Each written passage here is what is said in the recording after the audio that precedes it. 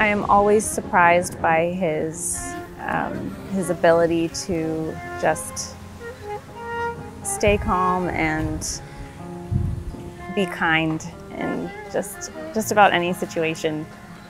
His his resilience and his strength, and he makes me feel incredibly special all the time.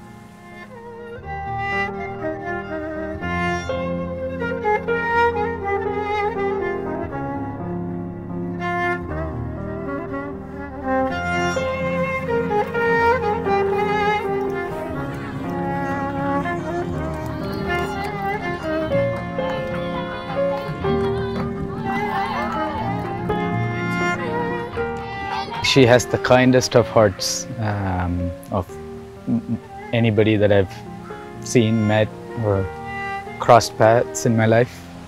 So just I know how rare that quality is to to have that. I think that makes it very easy um, and makes me feel comfortable and I'm being loved for who I am. Um, all the imperfections are embraced and that's very hard and it's not easy so i don't take that for granted yeah.